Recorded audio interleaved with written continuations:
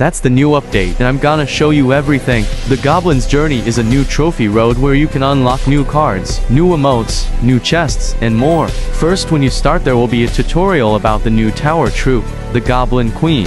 She can only be used in this game mode, but has a broken ability. Every goblin card you play can charge your goblin bar. Once it's full, it will spawn 8 flying goblins with the next goblin card you play. You will notice it by the card's frame, which will glow up green. The Goblin Queen's journey goes up to 3400 goblin trophies and you can unlock for new emotes.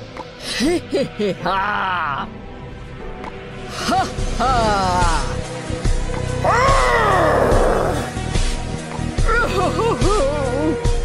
And there are three new chests. What's special about them? They include only goblin cards, but that's important to upgrade the new cards faster.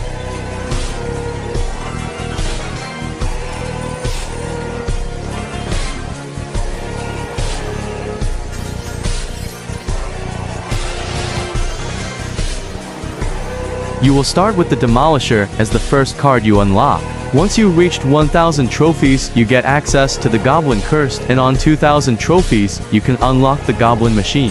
But what about the Goblin Queen? Don't worry, you will always get all cards to upgrade it.